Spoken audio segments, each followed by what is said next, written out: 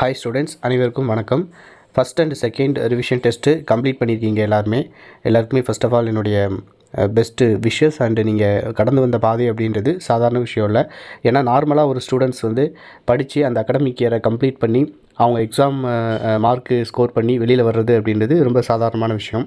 ஆனால் நீங்கள் corona lockdown ரெண்டு வருஷமாக ஸ்கூல் வந்து ரெகுலர் ஸ்கூல் இல்லாமல் டுவெல்த் ஸ்டாண்டர்டும் அதுவும் லாஸ்ட் மினிட் வரைக்கும் ட்ராவல் பண்ணிட்டு வந்திருக்கீங்க. நிறைய டிப்ரெஷன் நிறைய ஸ்ட்ரெஸ்ஸு அது மட்டும் இல்லாமல் லாஸ்ட் மினிட்ல நிறைய சிலபஸ் நீங்கள் எப்படி படிப்பீங்க அப்படின்ற ஒரு எண்ணம்லாம் உங்களுக்கு இருந்திருக்கும். பயமே இருந்திருக்கும். ஸோ கவர்மெண்ட் இப்போ வந்து நமக்கு ஒரு ஹாப்பியான ஒரு நியூஸ் சொல்லியிருக்காங்க. என்ன நியூஸ் அப்படின்னா எக்ஸாம் சிலபஸ் வந்து நமக்கு கம்மி பண்ணியிருக்காங்க. எப்படின்னா ஆல்ரெடி ரெடியூஸ்டு சிலபஸ் தான் நம்ம படிச்சுட்ருக்கோம்.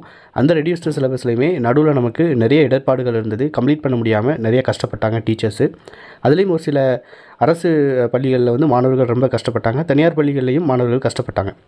ஸோ இந்த சூழலில் நிறைய ரிக்வெஸ்ட் வந்து எழும்பியிருந்தது.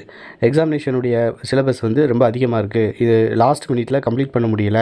படிக்கிறதுக்கு ஸ்டூடெண்ட்ஸ் கஷ்டப்படுறாங்க. இன்னும் ரெடியூஸ் பண்ணால் நல்லாயிருக்கும் அப்படின்னு சொல்லிட்டு. ஆனால் அதுக்கு வந்து கவர்மெண்ட் எந்த பதிலும் சொல்லாமல் இருந்தாங்க. இப்போ வந்து நம்மளுடைய பள்ளி கல்வித்துறை அமைச்சர் வந்து ஒரு பேட்டி கொஞ்ச நேரத்துக்கு முன்னாடி கொடுத்துருந்தாங்க. அதில் வந்து என்ன சொல்லியிருக்காங்க அப்படின்னா ஃபஸ்ட்டு டூ ரிவிஷன் அதாவது first revision and second revision இதில் கவர் பண்ணியிருக்கக்கூடிய போர்ஷன் மட்டும்தான் பப்ளிக் எக்ஸாமுக்கு நமக்கு எடுத்துக்குவாங்க. அது வரைக்கும் மட்டும் நம்ம படித்தா போதும். அதை தாண்டி நமக்கு கொஷின்ஸ் வராது. ஏன்னா நடத்தாததுலேருந்து கொஷின் கேட்டால் அது நியாயமே இல்லை அப்படின்னு சொல்லிட்டு ஒரு வார்த்தையை நம்மளுடைய எஜுகேஷன் மினிஸ்டர் சொல்லியிருக்காங்க. ஃபஸ்ட்டு டூ ரிவிஷன் டெஸ்ட்டினுடைய கொஷின் பேப்பர் வச்சுக்கோங்க. அதில் எந்த அளவுக்கு சிலபஸ் கம்ப்ளீட் ஆகிருக்கு அப்படின்றத பார்த்துட்டு அதை மட்டும் நீங்கள் ப்ராக்டிஸ் பண்ணி பாருங்கள் போதும். நிச்சயம் நமக்கு இருக்கக்கூடிய இந்த ஒன் மந்தில் இந்த ரெடியூஸ்டு சிலபஸை நம்மளால் படித்து நல்ல மார்க் எடுக்க முடியும்.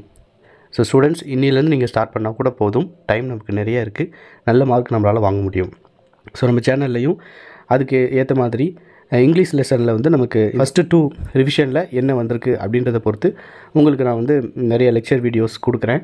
அதோடைய லிங்க்ஸ் டிஸ்கிரிப்ஷனில் முடிஞ்சால் நான் உங்களுக்கு போட்டு வைக்கிறேன். இல்லை அப்படின்னா ப்ளேலிஸ்ட்டில் அவைலபிளாக இருக்கும். செக் பண்ணி பாருங்கள் ஸோ ஸ்டூடெண்ட்ஸ் பயம் இல்லாமல் இனிமேல் இருக்கக்கூடிய டைமை பயன்படுத்தி நல்லபடியாக படித்து நல்ல மார்க் வாங்க வாழ்த்துக்கள்.